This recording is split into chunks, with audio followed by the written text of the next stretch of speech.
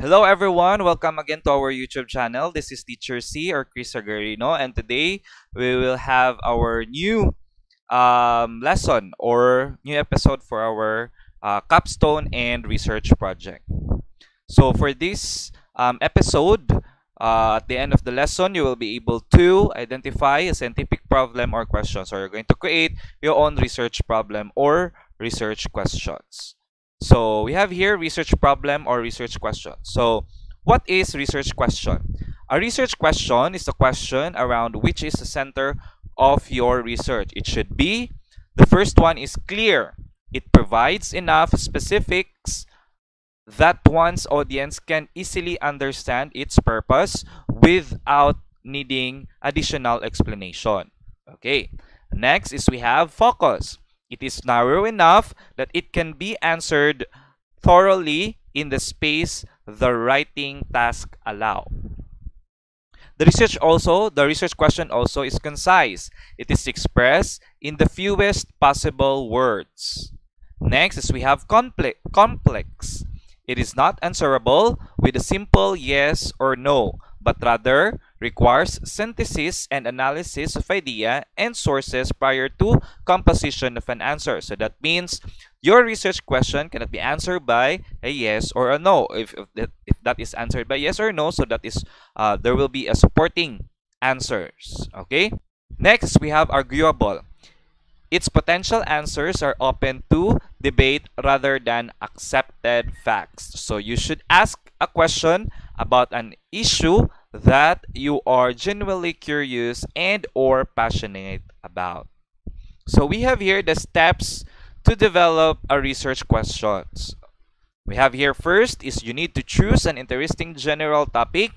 Most professional researchers focus on topics they are genuinely interested in studying. Writers should choose a broad, a broad topic about which they genuinely would like to know more. Next is we have do some preliminary research on your general topic. Do a few quick researches in current periodicals and journals on your topic to see what's already been done and to help your narrow to help you narrow your focus. What issues are scholars and researchers discuss when it comes to your topic? And what questions occur to you as you read these articles? And we have here start asking questions. Taking into consideration all of the above, start asking yourself open-ended how and why questions about your general topic. So we have also here evaluate your questions. After you've put all your questions or every a couple of questions down on paper, evaluate these questions to determine whether they would be effective research questions or whether they need more revising and refining. Is your research questions clear? With so much research available on our any given topic, research question must be as clear as possible in order to be effective in helping the writer direct his or her research. Is your research question focused? Research questions must be specific enough to be well covered in the specific available. And is your research question complex? Research questions should not be answerable with a simple yes or no or by easily found facts. They should instead require both research and analysis on the part of the writer. They often begin with how or why. And then next is we have you need to begin your research.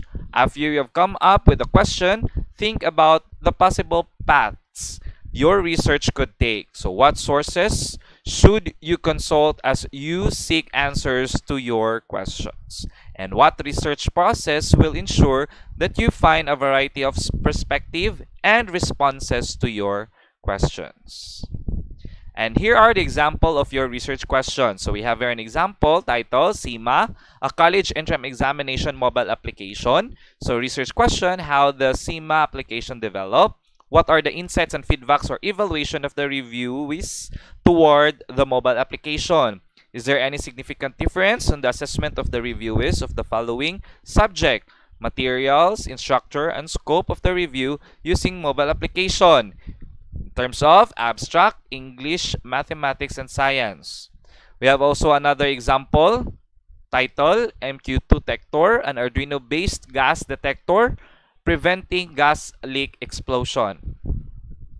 How the MQ2 detector was developed, and then what are or what is the performance of the MQ2 detector in detecting LPG with fixed distance. Number three, what is the performance of the MQ2 detector in detecting smoke with fixed distance? What is the performance of MQ2 detector in the detecting LPG with various distances?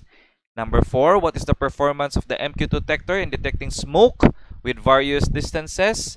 And lastly, we have here what is the performance of MQ2 detector in sending messages. So these are the examples of uh, creating research questions. Not answerable by research. Uh, it's not answerable by yes or no. Okay? So again, thank you so much for listening. Bye!